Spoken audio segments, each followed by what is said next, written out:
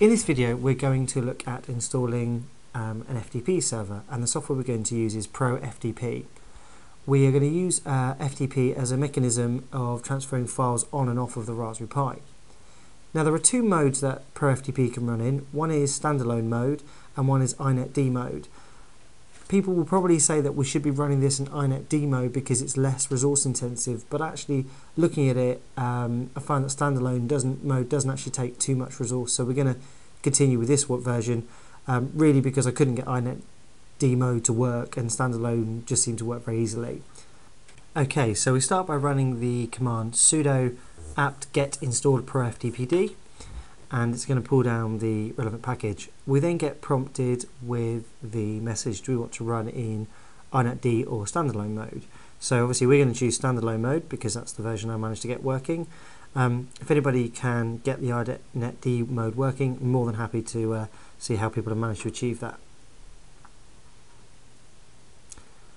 Okay, once this is finished, you will get a, um, a message to the screen saying that the FTP server um, ProFTP is started. We can run the command sudo service pro ftpd status and it will tell us that it's running and what mode it's running in.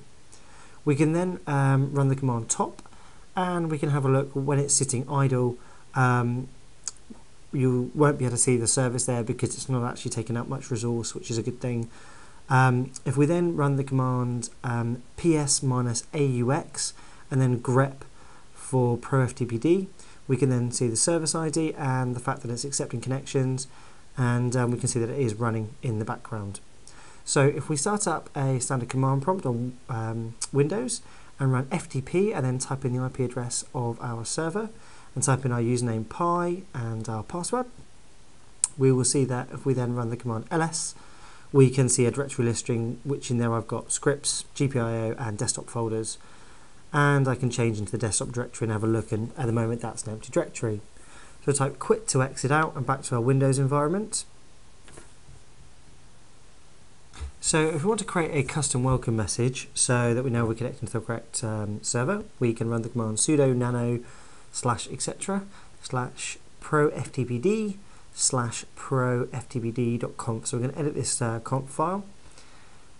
And if we look for where it says the server name, and under that we're going to add the line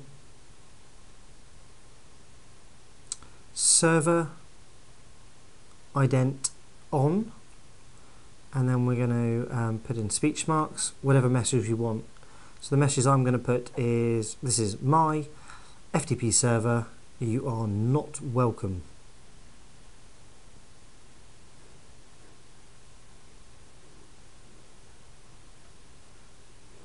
Okay, so we're just going to um, save that file.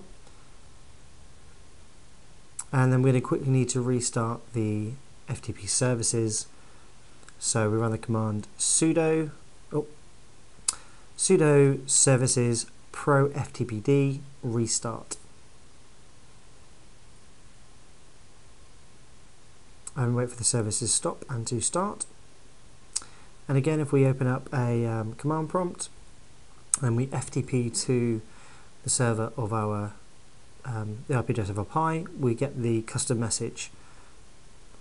Okay, so we log in as usual, and everything works fine. Okay, so on the Windows side of things, we change into the directory that we want to um, get files from. I'm going to have a folder on my desktop called test files, and in there there's a file called camera.jpg. Okay, so again, we can see my um, custom messages there. I'm going to log in with Pi, my username, and my password as normal.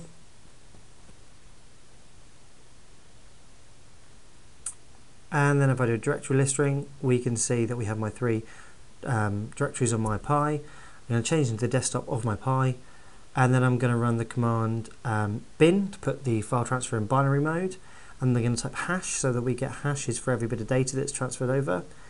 Um, if I run the command um, exclamation and then dir it will show me the directory listings on the Windows machine and then if I run the command put camera.jpg and hit enter it will transfer that file. If we then go back to our Pi we can see now that the um, JPEG file has been transferred onto the desktop of my Raspberry Pi. And if we um, open that up in um, uh, image viewer of our choice, just go for the standard image viewer, we can see that that file has been transferred onto the box. So hopefully most people will be familiar with the basic um, commands of FTP and um, should be able to work from here and hope this has been a useful video.